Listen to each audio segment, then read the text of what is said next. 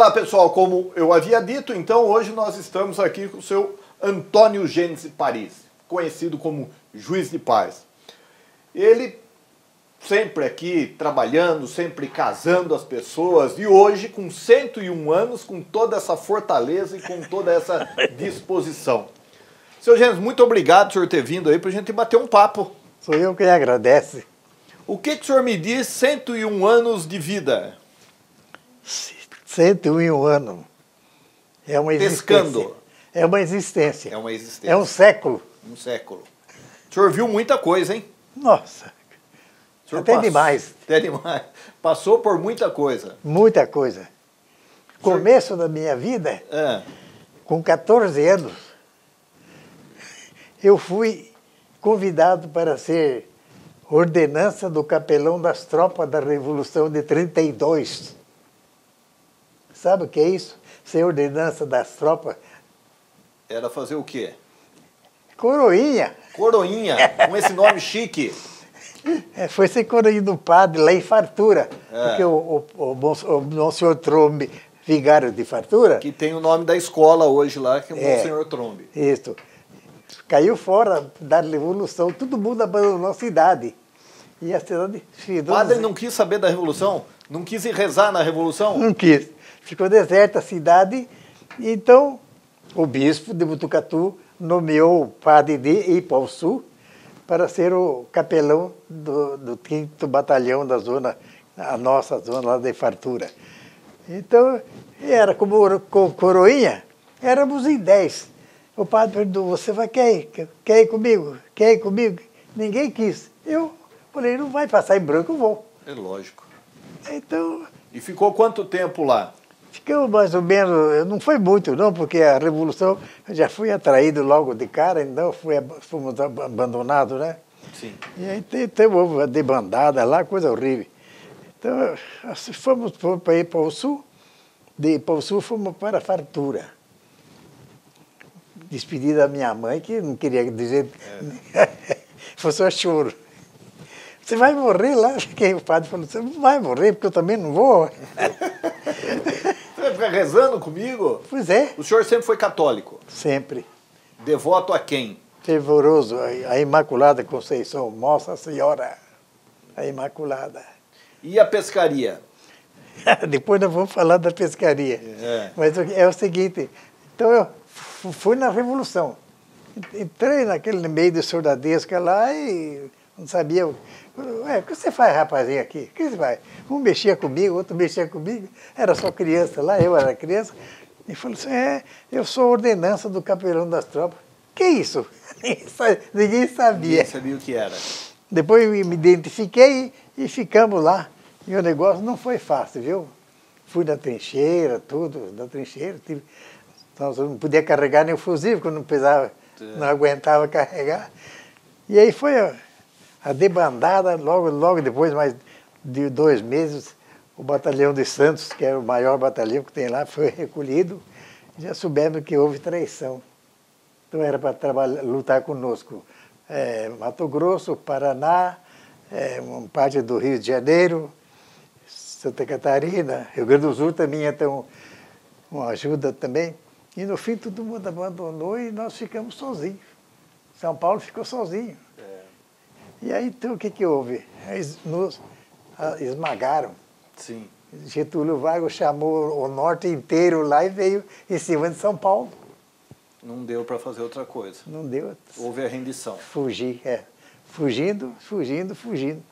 O mais triste foi a, a- a debandada, sabe? É. Quando houve a debandada que os, os gaúchos entraram com com canhão, metralhadora pesada, tudo. E, e os nossos soldadistas. Eu estava sentado na escadaria da igreja, uma tarde, Em fartura? em fartura. Quando vi aquela, os homens que vinham assim, meio capengando, assim, o que que era? Um sangrando, outro. Foi eles que estavam fazendo a debandada das trincheiras, porque você não ia morrer lá mesmo. Sim. Um perna machucada, outro quebrado. Eu, eu até chorava na, na escadaria sozinho, porque falar com quem, pedir para quem. É. Foi triste, viu? Foi triste. Enfim, E quanto tempo o senhor ficou lá?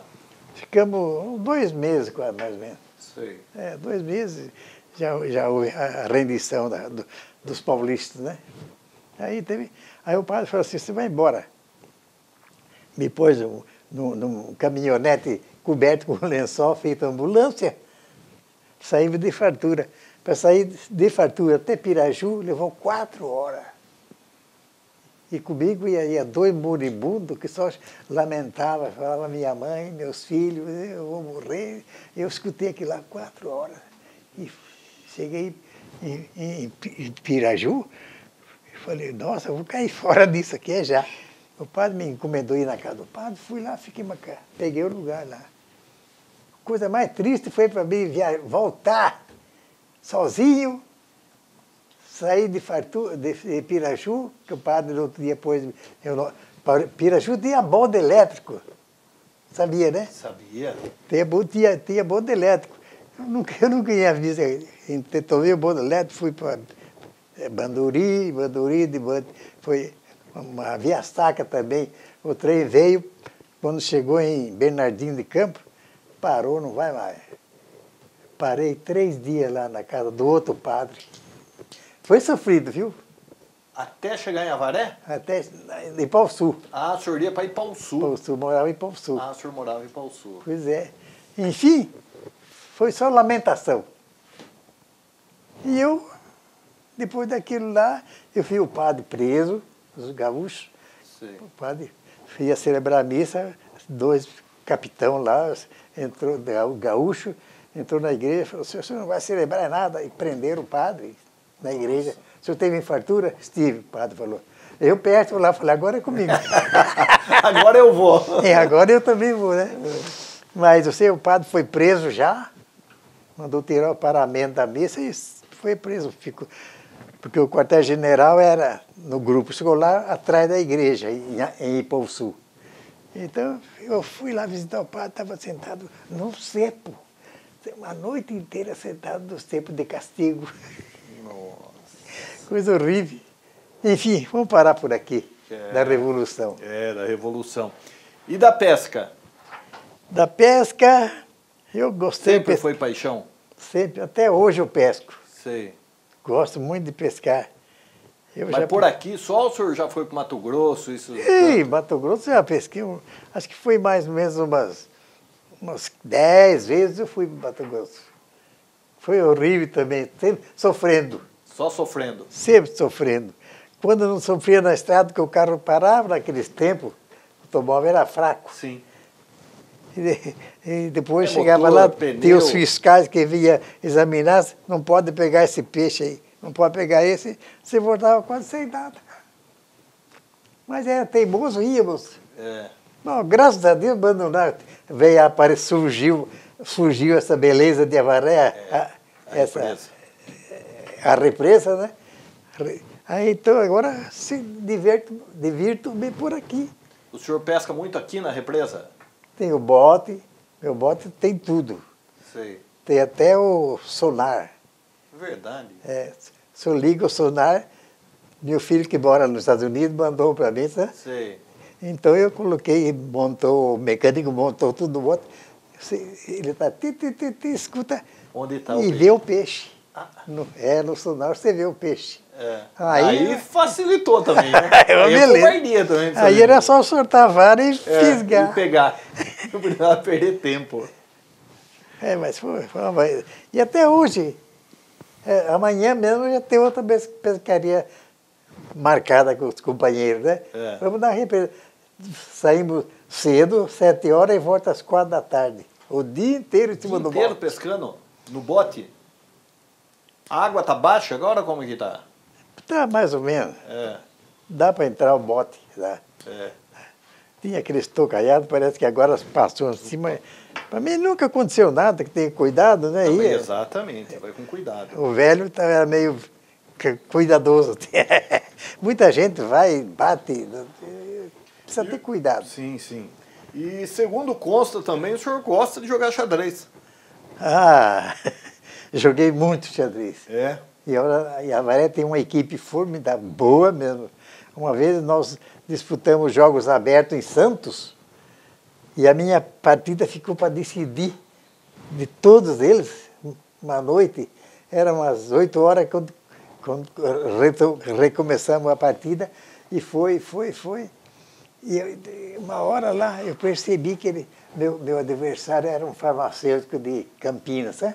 O velhinho lá estava sofrendo, porque eu tinha um lance que se eu fizesse, eu ganhava a partida. E nós íamos ficar campeão dos Jogos Abertos. Então, tínhamos que queria, mas ninguém podia soprar. Eu via aquela. Os meus companheiros falavam, não está vendo, não está vendo.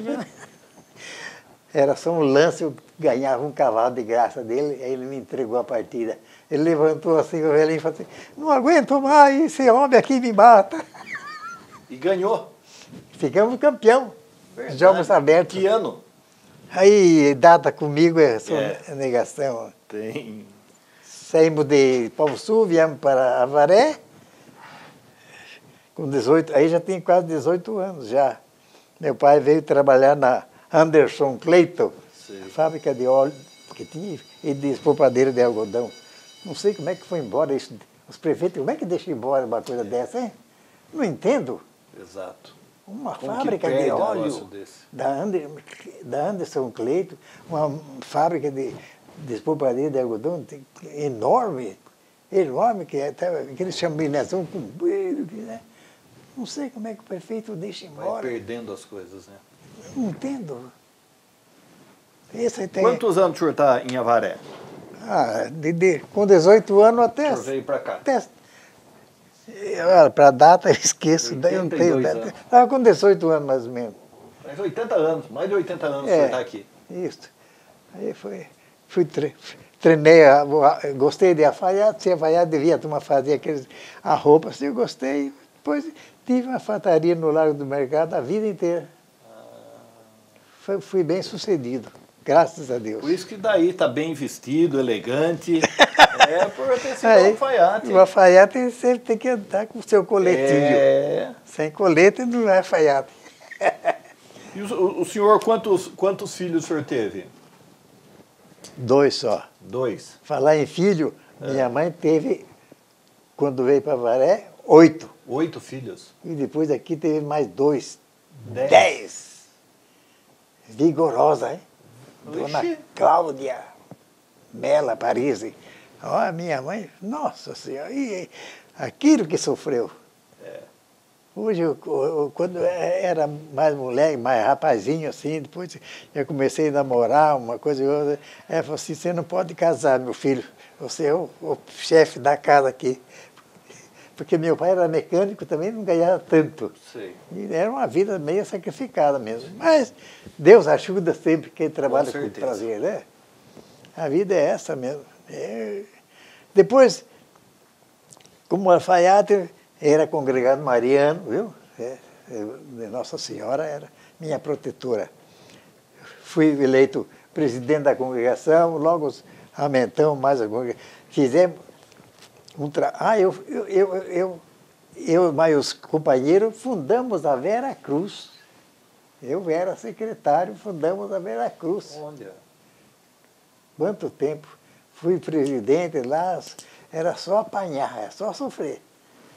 Depois disso aqui, depois que nós fundamos a, a, a fundação, é, eu era congregado, nós fundamos o Círculo Operário, tinha uns 80 com Mariana.